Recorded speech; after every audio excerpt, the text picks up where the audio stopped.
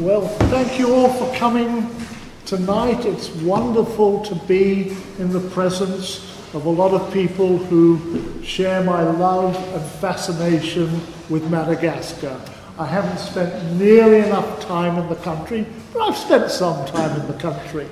So we're going to look at a fascinating episode in Madagascar's history in the early part of the 19th century and um, I credit Sir Mervyn Brown, I'll say a little bit about him in a moment, with um, inspiring me to write this book, Mission to Madagascar. The sergeant, this is a guy called James Hastie, who you will be meeting uh, in a few moments. Um, Sergeant the King and the slave trade.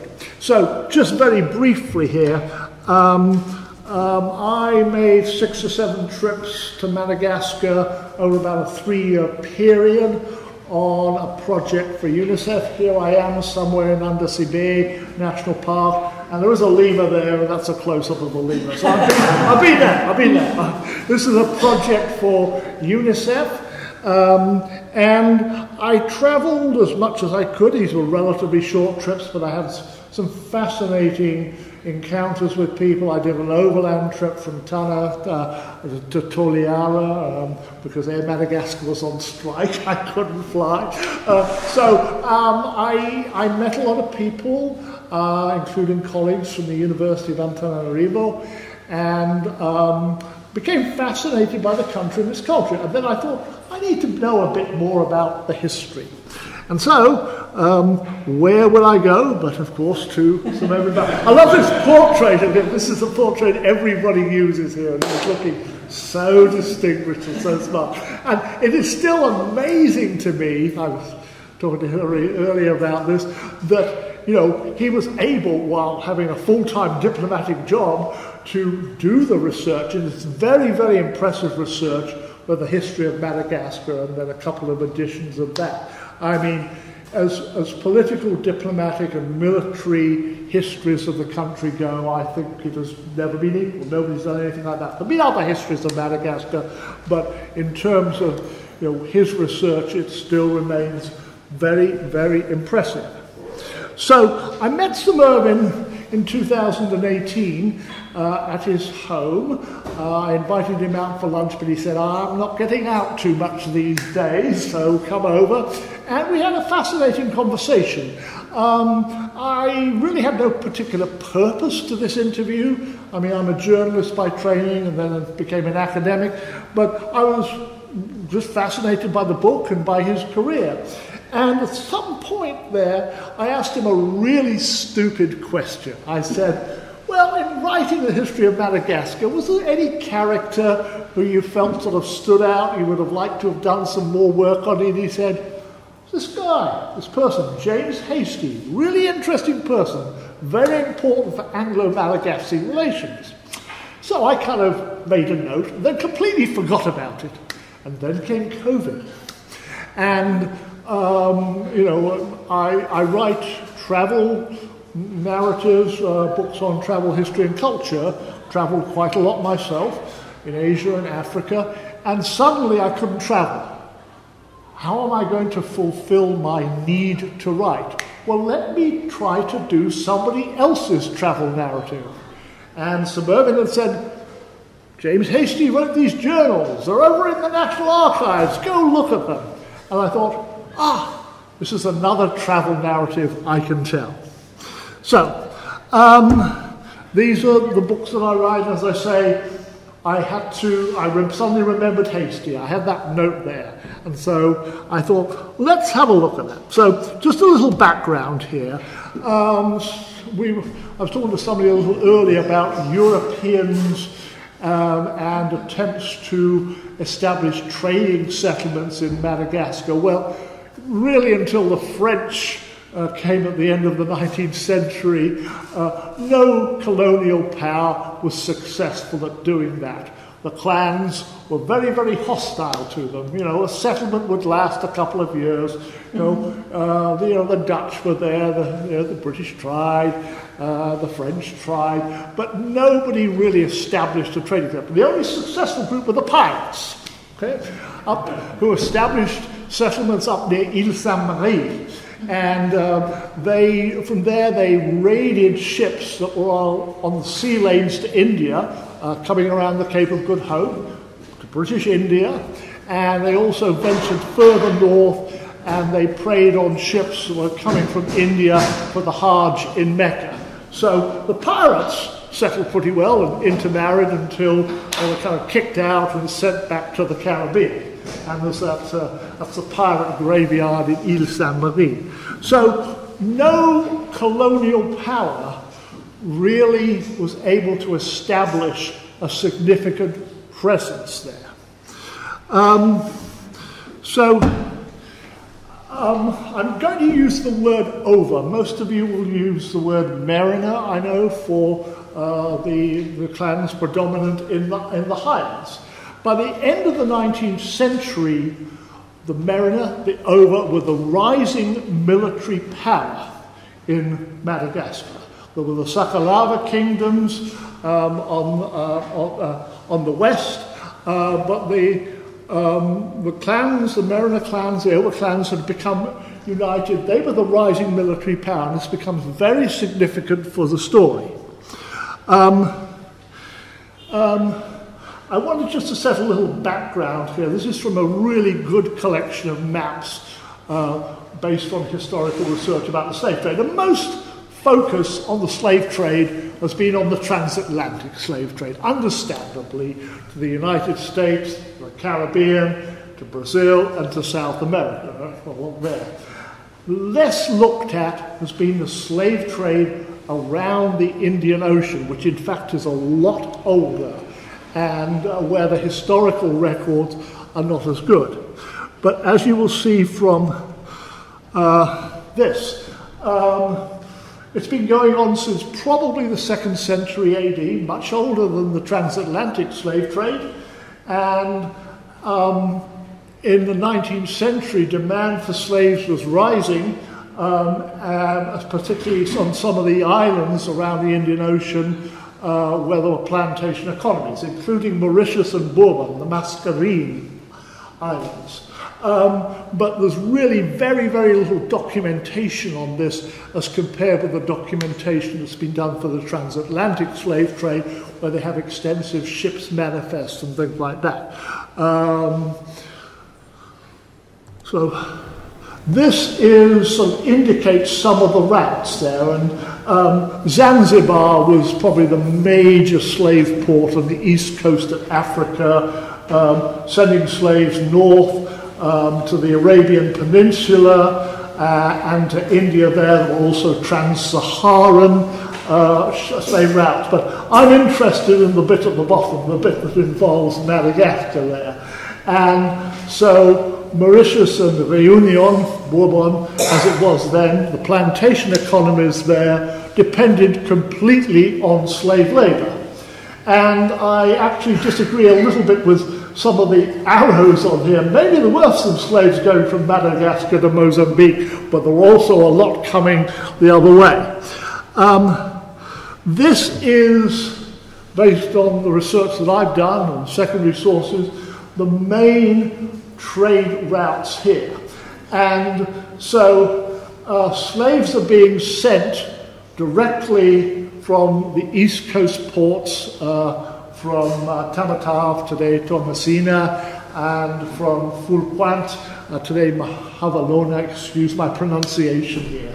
They're being sent directly, but there's also a slave trade across the Mozambique travel channel with slaves being sold particularly into Majunga where Arab slave traders control the trade.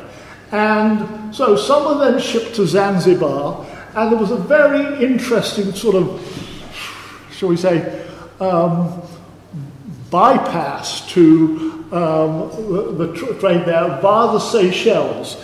Um, when the British took over the Seychelles, took over Mauritius during the Napoleonic Wars, the Seychelles were technically a dependency of Mauritius. So, because you know the British Navy was boarding slave trading ships that were coming directly from the east coast of Madagascar. Some of the slave traders sent them up to the Seychelles, which was really not patrolled at all, had them registered as slaves there, and then shipped them down to uh, Port Louis in Mauritius um, and sold them on the slave market because they were officially registered as slaves.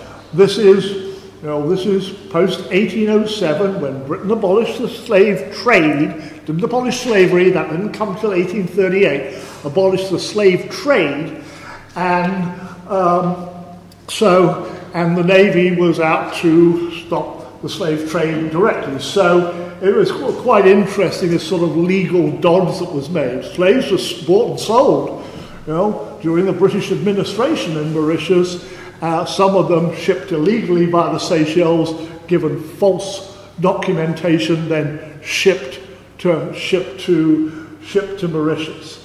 And look at the geography of Mauritius as well. Uh, we'll come to the uh, Hastie and the governor in a moment there, but Mauritius, I don't know if any of you have been there, it's full of little inlets and coves and things like that. You know, absolutely impossible to stop the smuggling of slaves at night into little isolated places there. And the British don't have the troops or the ships to really police the island. Um, so, uh, you're all familiar with his name, I know. I mean, I, am not joking about this, but actually, you, you need to think about the names of European monarchs, you know you know, King George, Duke of so and so, Viscount of so and so. In Malagasy, all the names, all the names went, went together. And so this is the king who, at the end of the 19th century, united the clans, or you know, defeated the rival clans, brought them all together into the United King, United Merina Hova Kingdom, which then started to expand through the island through his son Radama. And um, it's important to remember here how the slave trade was uh, the part it played in, shall we say, the economy. Uh, uh, seems a terrible thing to say here, but the Andriana, the nobles, and the military commanders depended on the sale of war captives for income.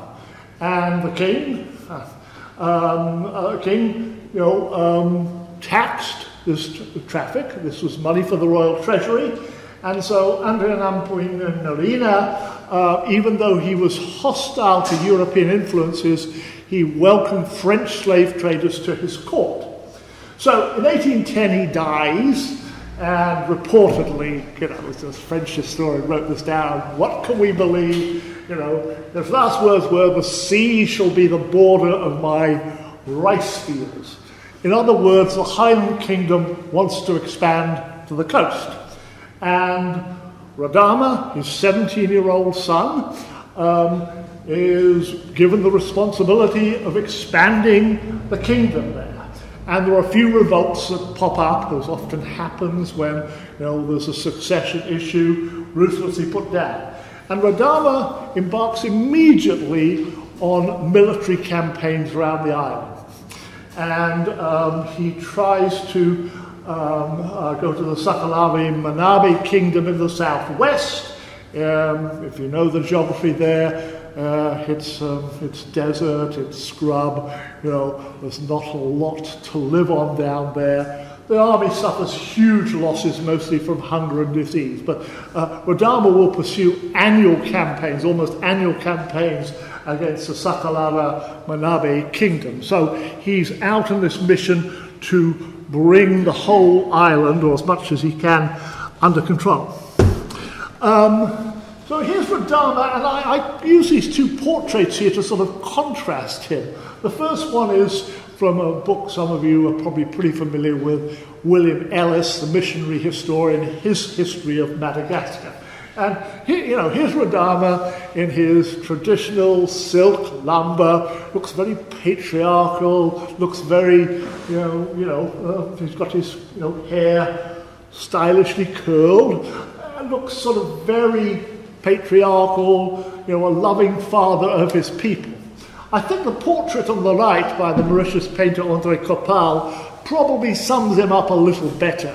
He wanted to be Napoleon, okay? You know, and so he wanted to be a European monarch, and so here he is dressed up in military gear here, and uh, um, you know, uh, re ready to campaign. So that was his ambition, and interestingly enough, Hastie will kind of use his ambition to be a civilized monarch uh, in his negotiations.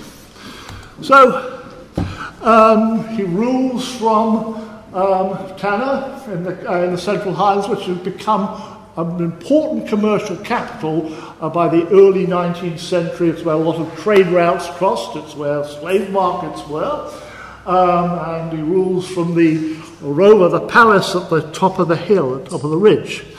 And there's this fascinating little map. You probably can't see it here, but I mean, it's kind of, you know, the, the Rova, the palace was on the top ridge there. I mean, you, you, you could, if you go to Tana, you'll sort of see where it, where it was. And then there's, um, uh, below that, and I've been to the place, you probably have to, there's the cliff from which the criminals are thrown. This was rough justice in those times. Uh, the criminals, they were thrown over the cliff. Anyway, yeah. So, so it's a sort of Radama's pretty interesting because he's very outward looking in some ways, open to all sorts of other influences, but there's this real sort of historical cruel trait to his character. So here come the British. so 1810, they capture Mauritius and Bourbon during the Napoleonic War, uh, but you know the British don't want to commit too many resources to this. So they say to the French settlers, you can keep your language, you can keep your Catholic religion, uh, you can keep your slaves, okay? We're not going to interfere in any way. And so the British ships start trying to interdict the slave trade from Madagascar. But the smuggling continues. As I said, that map of Mauritius shows all sorts of places where you can smuggle trade into. And then um, at the Treaty of Paris, the island of Bourbon, Réunion today, is restored to France. Now, Hastie comes on the scene in 1816 as a disastrous fire in Port Louis, the capital of Mauritius, starts in, um, you know, with a lot of wooden houses, spreads very, very quickly.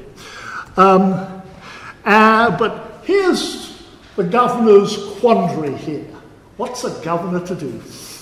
Uh, so Mauritius is really important. It's on this strategic location on the sea lanes to India, um, and the French and others are raiding British ships. He's under pressure from London to stop the smuggling of slaves, but, but he really doesn't have the, the soldiers or the ships to, um, to deal with it. And at the same time, the demand for slaves is rising because of the plantation economy, demand for sugar is rising. So, what's the governor to do? Okay, invade Madagascar? That's out of the question, you know? Uh, try to go for diplomacy with all of these different clans. That's going to take years, lots of gifts, okay? So he decides very, very strategically we're going to try to make an alliance with the up and coming military power, the Hova, the Merina, in the Highlands. The Sakalava are in decline, it's, and it's this young king, Radama, we're going to try to bring him on board. So he sends a couple of missions out, and for various reasons, they fail to achieve his aims. Um, and so then Hastie comes on the scene, and it's a remarkable story here. He, you know, he's, he's from County Cork in Ireland. He has a pretty good education, but you know, he's you know, he's dissatisfied. He, he wants to break away, so he runs away from home and joins the army. Okay, and is shipped out to India. And during the Napoleonic Wars, his, his regiment is redeployed to Mauritius after Napoleon returns to Paris. The, Governor Farquhar is kind of worried about a revolt from the French settlers, so they ship his regiment out there. So he ends up in, in Port Louis, Uh, and the fire happens, and he shows incredible bravery. He puts up a ladder to Government House, and he climbs up the ladder, and the, the Indian sepoys are passing up buckets of water, and he's putting out the fire. He's, you know, uh, you know, he plays a major part in stopping the fire spreading and destroying the government building and destroying other houses. So he comes to the governor's attention. Bright guy, bright guy, shows initiative here. Recently, the two brothers, younger brothers of Radama, had arrived with one of the missions sent to Madagascar for an education. And so he's named, uh, he's educated, he, you know, he's had a really good education, more than some of the commissioned officers. He becomes tutor to the princes. And he's then named as the assistant to the British agent Thomas Pye, who is supposed to do the third mission uh, for the court of Radama in July 1817. Um, I'm going to pick up the story here from another journal. This is a journal from, uh, a, uh, from a naval engineer called Thomas Locke Lewis. Now, tomorrow night I'm presenting at King's College London Library, uh, which has his, his journal. But it, it's kind of, this sort of is the pre, you know, this kind of sells the, the pre-story. So um, Lewis and Hastie and the princes arrive in July, um, um, um on June the 29th. They arrive in Tamatave Toamasina. In the evening, Ratafiki and Rahome, the brothers of Radama, the supreme chief or king of, over, of the island of Alaska, you know, came alongside. Okay, the princes have been residing for some months with His Excellency Mr. Farquhar, the governor. The eldest was 15 years of age and rather an implacable disposition. Uh, whilst that brother, two years younger, was mild and tractable. I love these comments. uh, but Mr. Hastie is employed as guardian to the princes during, during their residence. So they're arriving here, and Lewis, in fact, goes out with another officer on a sort of reconnaissance mission um, to see what's going to happen.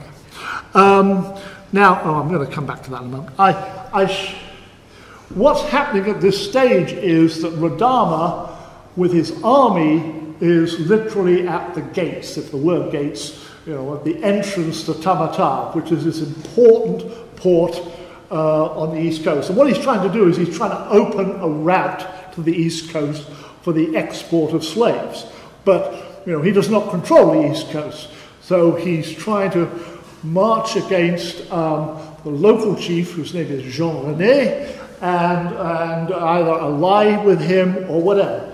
And reportedly, he has an army of 30,000. Now, we need to take that number with a large grain of salt or whatever the appropriate Malagasy spice is there, because um, I think Hastie once described the, uh, the army as, um, oh, let's see.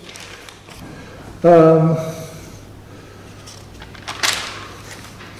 a heavily laden mob of both sexes and all ages. So, so you know, this is not 30,000 trained soldiers, you know. These are, these, are, these are people who've been farmers most of the year, and they've got their wives and their slaves and who else coming along. So there's 30,000 people there, but they're not all fighting soldiers. But anyway, um, um, you know, it was worrying. So, at this point, I need to try to pick up Hastie's story because Hastie's journal begins in July 1817.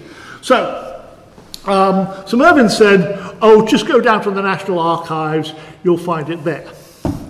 Well, unfortunately, look at the thing about it. The record is missing and is unavailable.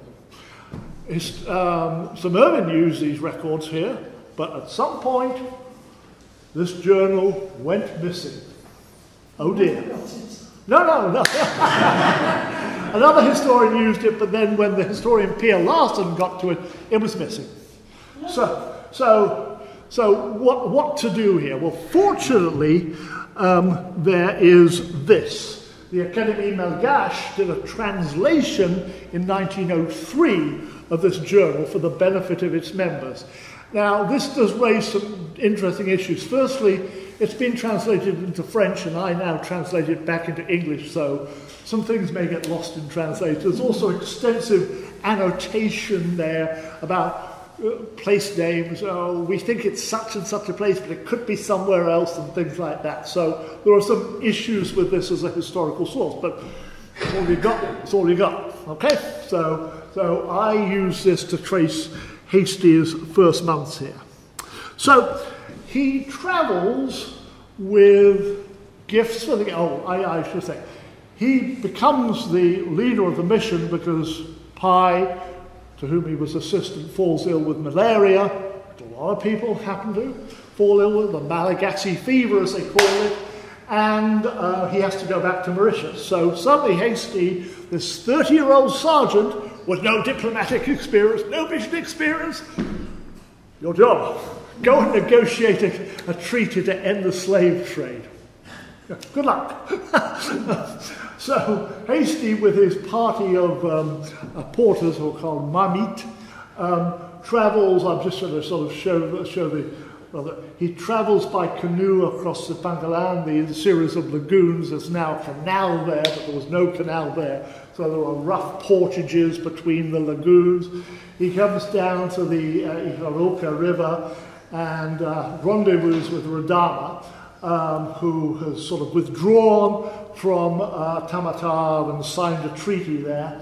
And then it's, it's, um, it's basically close to the present day route of uh, Route Nationale 2 uh, there. Somewhat, somewhat close, somewhat close. So, um, but he's doing it on foot most of the time.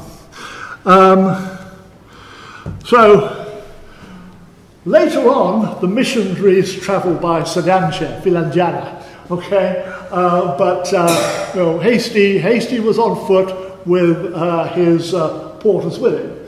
And he was going through a region which had been devastated by war because Jean René's armies or forces had been fighting, and Radama's forces had been fighting, and there were other players in there. It's very confusing. So villages were burned, there was very little to eat, it was very, very hazardous. Um, he's traveling across these coastal lagoons where the wind can sweep up the waves. He loses a horse. He's brought horses with him, which he's the first person to bring horses to Madagascar. And the prize horse for the king drowns. He's got some others. Then there's this exhausting uh, ascent through the foothills and the tropical rainforest to the highlands. At the same time, he is required, and he does this really well, to record, and the correspondence from Farquhar's chief secretary says, in the smallest details, everything that you can learn, which is why Hastie's journals are so important. It's the most comprehensive account of all sorts of things in early 19th century Madagascar.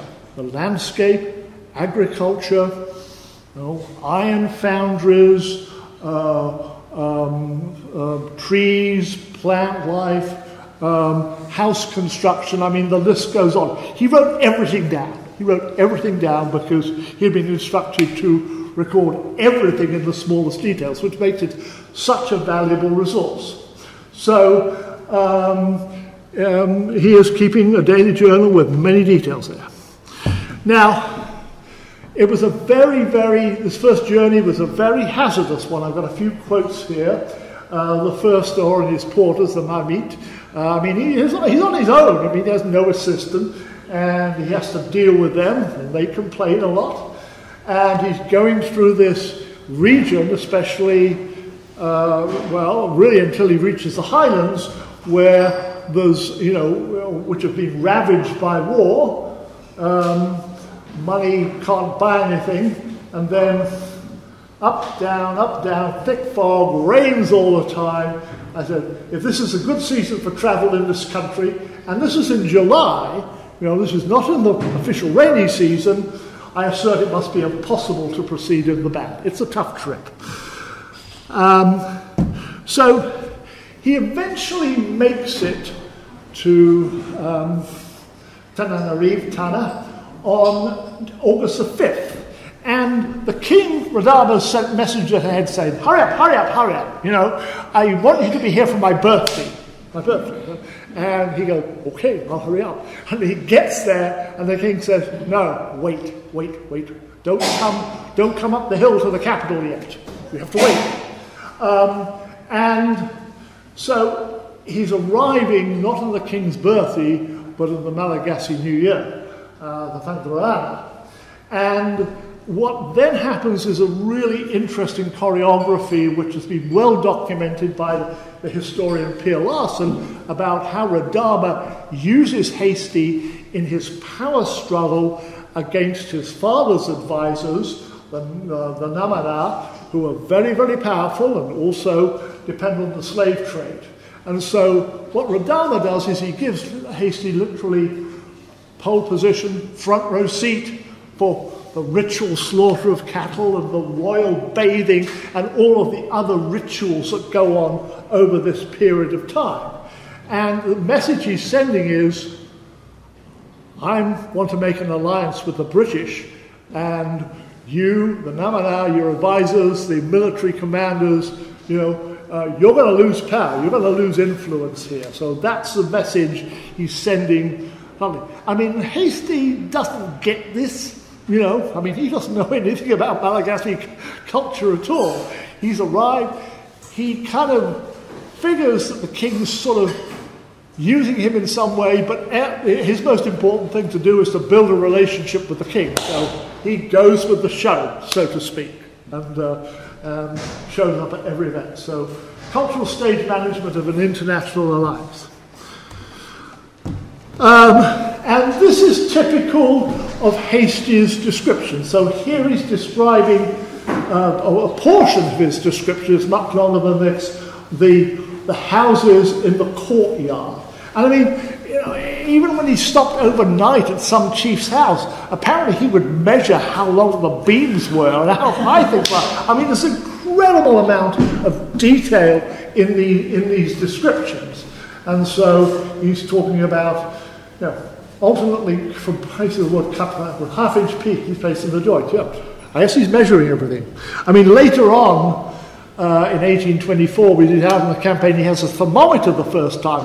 We have the first real scientific evidence of how hot it was in Madagascar, at least in northwest Madagascar, in 1824, because Hastie would take a reading inside his tent and outside his tent until his thermometer broke, and that ended. Uh, anyway, so it's a complicated three month negotiation. And he thinks he's convinced the king to um, abolish the slave trade, issue some ban, and then the king comes back and said, I don't know about that, it's part of our culture, you know. My people would never stand for it. By his people, he doesn't mean his people in general, he means the Namana, the advisors, the powerful advisors, and the military commanders.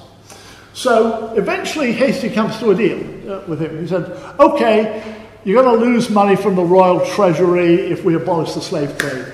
How about we, the British, compensate you with supplies, military supplies, and training for the army? There's already um, a sergeant there who'd come on a previous mission who started military training with that, you know, mob of all ages and sexes to try to turn them into a professional army. So Radama accepts this. And so he's making an alliance with the British against the advice of his advisors. He's running a risk here. And at Tamatave in 1817, in October, Hastie is not of enough rank to sign the treaty himself, even though he's done all the work. They have to bring in uh, a couple of ship's captains with appropriate rank to do it. So the export of slaves is banned from Radama's territories, but nothing happens with the internal slave trade. Slaves are bought and sold. Um, and uh, Hastie's very, very careful to say, well, we, we, must stop this inhuman practice of exporting slaves for the plantations, but we will not interfere in your culture and your customs, so do what you like in your own country. In fact, he makes the argument that hey, slaves can build roads and things like that. Keep them here. Just don't export them. It's a, it's a quite an interesting tack that he takes there. Anyway, so, um,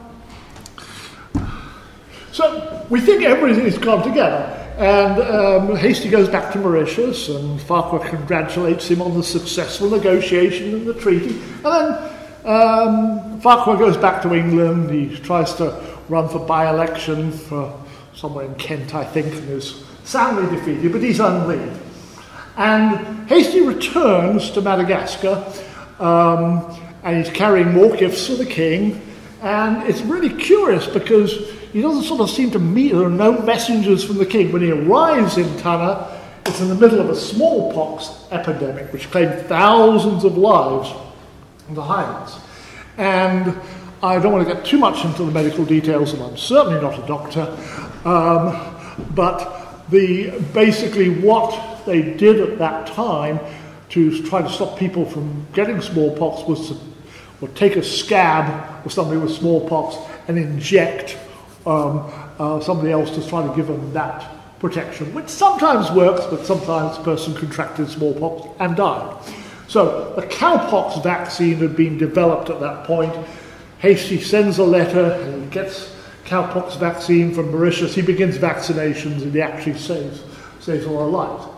Meanwhile, there are rumours that the guy who's taken over from Farquhar in his absence, I called Major General Gage John Hall, doesn't trust what's happened. He thinks that Farquhar's just trying to make nice with London, and he doesn't trust Radama because there are still slaves being exported to Mauritius, but they're not necessarily coming from areas that Radama controls. So, but you know, to Hall, it's all Madagascar, you know, and Radama's responsible for it all. So, you know, he fires Hastie, and Radama feels totally deceived. He hasn't received his first supply of, of muskets and gunpowder and uniforms for his soldiers, and he orders a resumption of the slave trade. Uh, returns in 1820, wants to revive the treaty. But how are you going to revive the treaty here when you've already broken it essentially by not, you know, British have not have broken it by not living up to their side of it, buying the guns and muskets uh, which Radama would use to conquer more of the island. So, um, Hastie returns in with uh, orders from Farquhar to try to um, revive the treaty. And I use this quote, this is from the Journal of King's College London, to kind of show you know, kind of what he packed for the trip. It's fairly complicated, you know. Not like throwing a few things in the suitcase here. If you're going to go and try to revive a treaty, you've got to take a bit more stuff along here. So I want to point to a couple of things here. 140 pieces of blue cloth, 100 pieces of white cloth, 100, well, 100 gallons of rum, we know where that goes, 250 pieces of paper. Okay, handkerchiefs. The main medium of exchange at that time, there were Spanish silver dollars which were used, but the main medium of exchange in Madagascar at that time was cloth in like five, um, five foot, five, six foot lengths. You know, I, have been trying to find out exactly what a piece is, and there are various sources on that. So this is what he pays. You know, he, you know, he stops for a night. You know, he pays with pieces of cloth for lodging, for food for his porters. Um, you know, he, um, this is the main medium of exchange. So he's taking a lot of cloth with him, most of which has come from India by merchants in, in Mauritius. And then he's taking um, handkerchiefs are not small handkerchiefs, they're quite large, more like scarves. Okay? Then there's plate for the king, plate for the princes, um, and oh, a trunk of clothes for Brady the drill. This is Sergeant Brady. This is the sergeant who's working with the army there. Um, and he embarks on the government schooner with the Reverend W as a mistake. His name was David Jones. This is the first missionary from the London Missionary Society to go to Madagascar. Okay? Um, and um, uh, who knows what's going to happen there? How will a missionary be welcomed here? So, uh, so then he Um, uh, then he arrives, and you know, there's a, a, a, bunch of French on the beach. You go, oh shoot, the British are back, and they leave. uh, and the, the chief Jean René, the local warlord, welcomes him. Um, and um, then there's some other discussion. Those are pretty typical. I, I point to the left thing here. He's brought more horses. Okay. I mean, horses are really important here. I mean, Hastie starts off walking, you know, but, you know, by the time we get to 1823, he's definitely riding, and so is the king. The king loves the horses, okay? But they've sent slaves with the horses from Mauritius who don't know what they're doing. And they permitted one to escape this morning, which I fortunately recovered at a premium of five pieces of patna. Patna was an expensive printed cloth. You had to pay a lot to get that horse back. So he hires some local people to deal with the horses. But these are fairly typical of some of, the, some of these entries here. So he gets back to Tana, and, uh, you know, um, and Radama is polite to him. We don't trust him. I mean, the English have, you know, broken the treaty. And there's this sort of technical argument. Yes, the treaty was signed, but King George didn't sign it, so it really wasn't official. Okay? Uh, but, uh, but um, uh, so, you know, he, he's arriving with the missionary, and again, there's another long negotiation, but there's a great quote here which I use, you know. Uh, um, Radama says to him, he says, in our language, we have a new proverb. And what is that?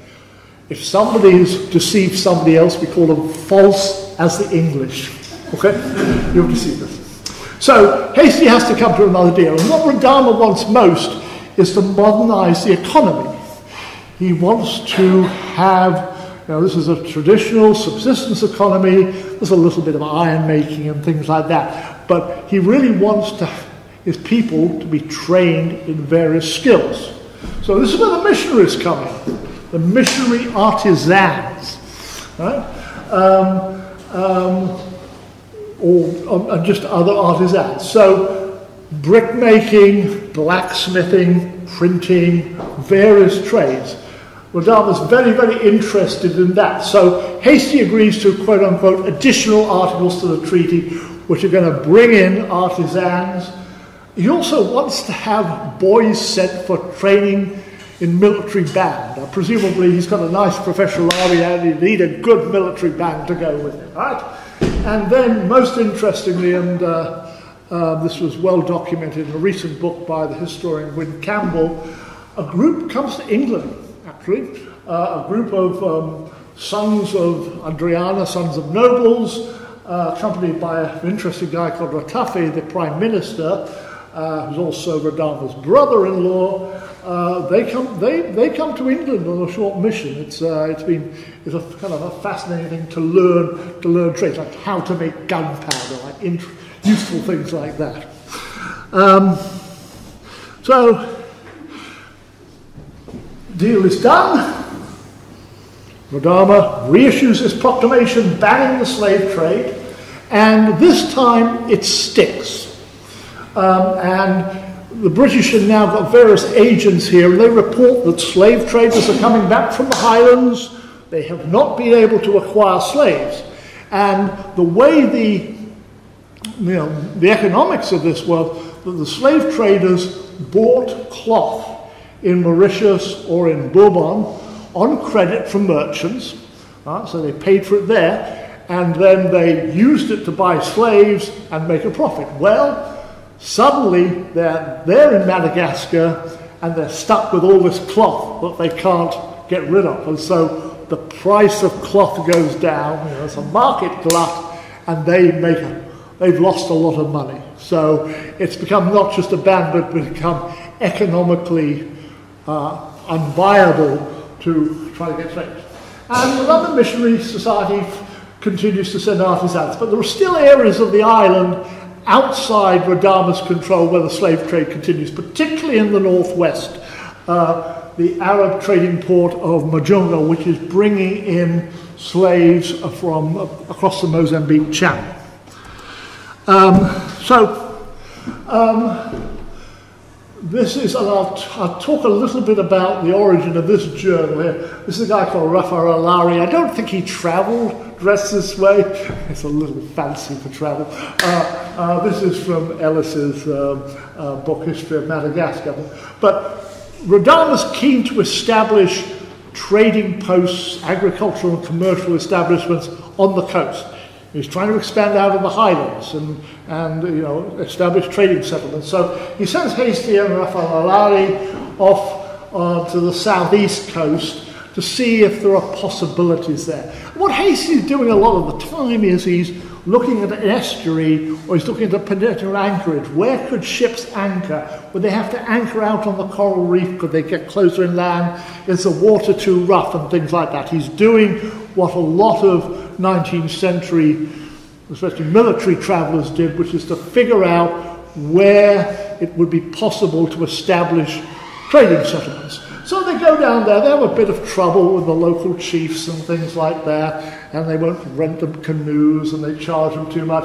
I mean, they go as far south as Mananjary, and, and Hastie comes up with a couple of possible places, but in the end, uh, they reject um, you know, Radama sort of rejects this, and the eventual trading settlement is established at Foulpointe, uh. And, but I want to come back to tell you a little bit about the origin of this journal a little bit later. So, Radama, now armed with muskets and gunpowder, fine uniforms, and with a more professional army, is ready to move against um, the clans in the, in the, in the, in the northeast and, uh, and then in 1824 the northwest. So um, it's a kind of interesting thing that happens here, and Hastie is with him all the time. Hastie is now his principal advisor, you know, political and military as well.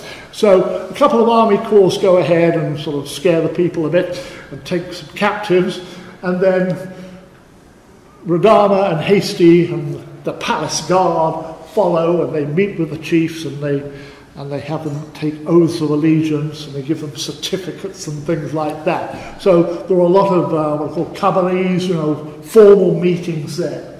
Um, so, you know, they basically agree to submit to Radama, uh, bringing this region kind of under his control. And Hastie's making all of these notes on potential, you know, areas for agriculture, the timber resources, extensive, extensive notes. So they get as far um, sort of north of the Bay of Antongil uh, to uh, Cape, uh, Cape of Anglesey, which was actually a place where slave traders had sent slaves north to the Seychelles. Now, I have to say that their route back is somewhat speculative here, and I'll say a little bit about the maps here. Hastie did not draw any maps. Okay? Um, uh, he named a lot of places, and a lot of those place names have changed, and nobody really knows what he's talking about anymore. So we know pretty well where he's going up the coast. When we get inland here, uh, my cartographer and I, and I, I, I, I said to her, Anna, I want to sort of reproduce the kind of map that Hastie would have drawn if he'd drawn a map. Okay, so we look very closely at how early 19th century topographical features were represented, how they represented mountains and rivers and things like that. I think she did a quite a good job there. But at this point, coming inland, we got a few reference points. We know they go to Lake Alaotra because there's a sort of military engagement there. But, you know, and so we, you know, we look at it and we go, okay, they're not going to go over mountains if they have to. You know, their guides are going to take them on the easiest route. So this is a somewhat speculative route in parts, especially in the northern part there. But again, you know, it's a very expensive campaign, a lot of soldiers falling sick, dying of malaria. And then in 1824, um, Radama moves against the Arab slave traders of Majunga. This is the, this is the um, Sakalava Boina kingdom, or Boyana kingdom to the north. Um, and this is uh, quite important because the Arab slave traders, um, under the protection of the Sakalava kings, um, are bringing slaves across from Mozambique and they're doing one of two things.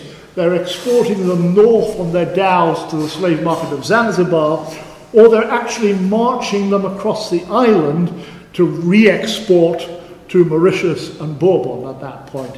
And there is, again, the economics of this. The generic name for an African slave at that time was a Mozambique or a Mozambican. Indeed, Hastie had one. He didn't own that slave, but he was sort of assigned to him, and they actually developed a good relationship. So Majunga was really important. So um, Radama marches north. Uh, by this time, his army is a lot smaller and more professional. About 14,000, about half that he needed on a previous expedition.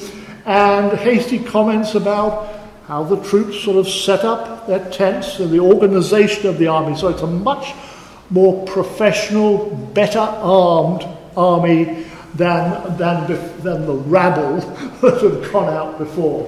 Um, so they, they capture Majunga, uh, the, um, the, the, the, the Andriantsoly, who's the king of the northern Sakalava, the Boyana kingdom, well, he's kind of paid off, pensioned off, shall we say. You know. We'll give you a nice house here, and we'll give you some money, and no trouble, please. Uh, and then, tragically, things fall apart for Hastie. He suffers a series of falls and accidents, dies in Tana in uh, 1826, age of 40. Uh, Radama is devastated. I mean, you know, he, uh, he, you know, he writes that he's lost his great friend, his great advisor. And I mean, this is unusual. He's an English, uh, well, Irishman. He's buried with full military honours in a stone tomb commissioned by Radama. Now, know everything about um, tombs and ancestors in Madagascar, this would be a rare honour for a, a foreigner to be buried this way. And then Radama dies in 1828 at the age of 36. And then, if you know the next chapter in Madagascar's history, things then start going pretty badly. Okay, so I wanted just to say something about what Hastie achieved. Um, so, you know, there's these very comprehensive accounts of agriculture, industry, landscape, birds, animals, flowers, well, you know, um, everything, you know, um, hairstyles. I mean, everything that he could collect, house construction, everything that he could say about Madagascar at that time. But he helped the London Missionary Society gain its first entry there, uh, vouching for the missionaries. And so Radama, who really doesn't care about religion at all, he doesn't really care about traditional religion, he certainly doesn't care about Christianity, Protestants, Catholics, whatever, uh, but he, but you know, he sees this as a way to get skills training um, you know, for, for his people. So he welcomes the missionaries and he said, yeah, you can do some schools and, you know, you can translate the Bible if you want. And, do a dictionary, but um, I really want you because you can teach blacksmithing and brickmaking and all of the other trades. So, um, Hastie manages to persuade Radama to abolish some harsh laws and customs, reduce the penalties for some others. There's a notorious Tangena trial by poison ordeal that he is not able to eliminate. Uh, not able to do that. But, um, you know, he just makes some um, achievements there. Transforms the army, uh, working with uh, Sergeant Brady, into what he once called a heavily laden mob of both sexes and all ages, into a more professional force, well equipped, which is now better able to conquer um, other parts of the country. Advocated for the building of roads, promoted cultivation of new crops, all sorts of things, cultivation of mulberry plantations for for silk, new agricultural techniques. But I mean, he knew, he knew, he knew about soil conditions. You know, don't plant there, plant there. You should plant, try this crop here, not that crop.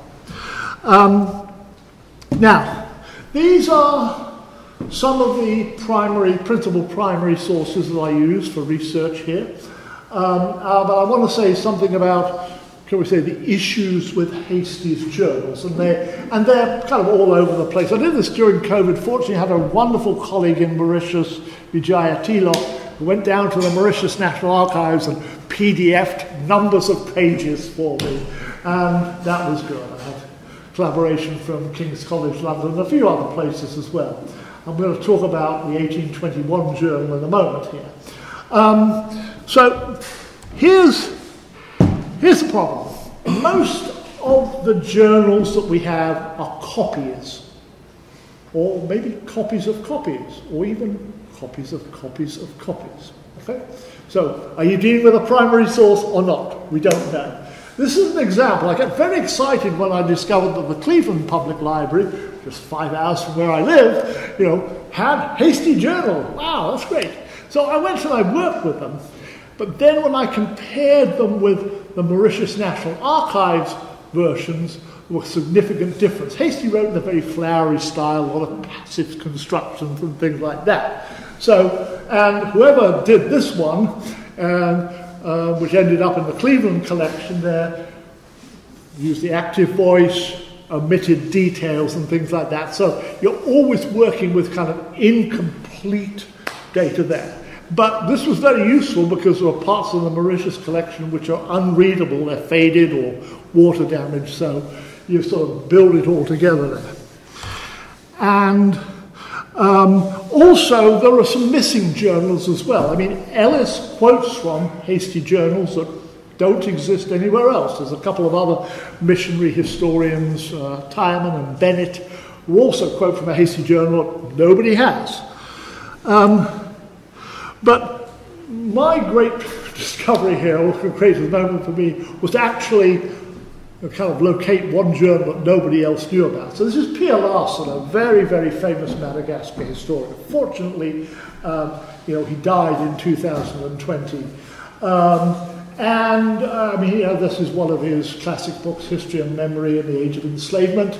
Becoming Merina, I mean, it, it, you know, um, you know, to kind of cultural and anthropological history is to that what I think Mervyn Brown is to political, military, and diplomatic history.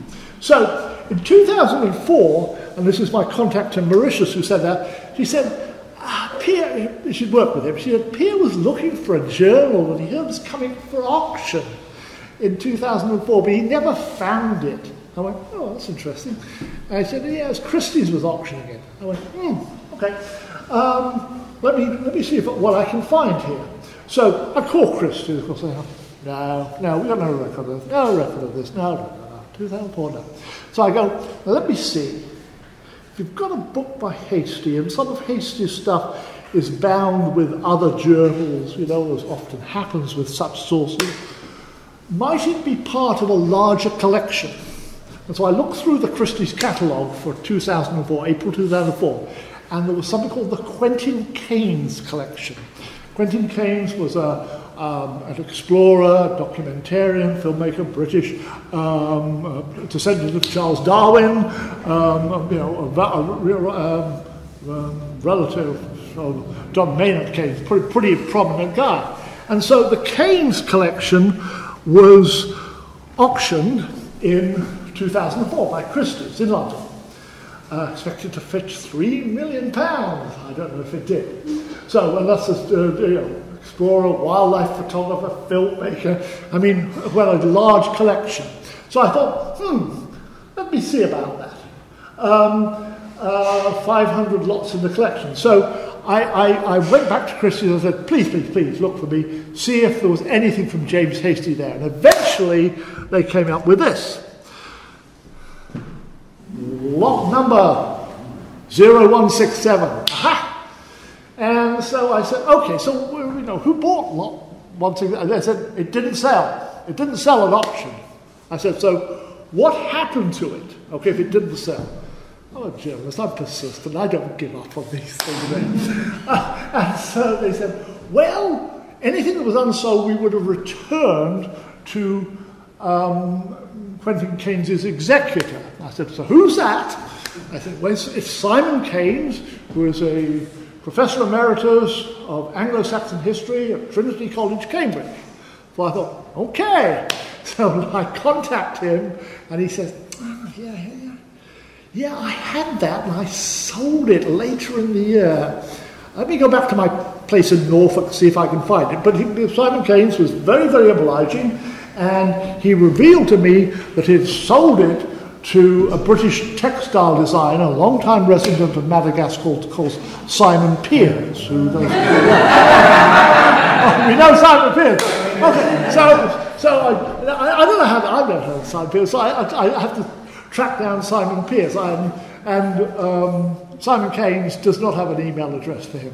So I go, let's see, so I Google now, research around. I find he's got an exhibition somewhere in London. Contact the exhibition organisers. They say, we'll pass on your inquiry. They do. And he responds. And he says, it's COVID now, can't get to my house in France, but when I do, I'll, I'll get it. And he sends me a transcription.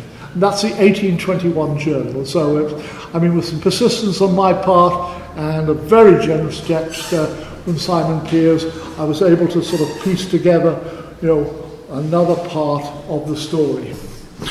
So, um, as I say, this is dedicated to Sir Mervyn Brown. I would not have done this without his inspiration, and I, you know, I, I wish him a happy 100th birthday. I wish I could join him there. But honestly, I mean, you know, uh, um, you know, he, he turned me on to Hastie, and Hastie became an important part of my life. If you're interested in the book, it's 15, and I will be happy to autograph it for you.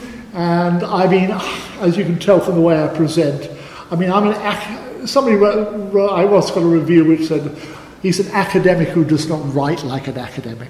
So I've taken I've taken this story, and I mean, I can I can document everything in it, but I try to write it in, um, you know, a style which would not be unfamiliar to people who enjoy fiction. Okay, so there's, there's action, there's drama, there's, there's, there's, there's plot because it is plot. Yeah, I mean, this is a fascinating, this is a fascinating, fascinating plot. So I think you'll find it a good read. Happy to take any questions, but thank you so much.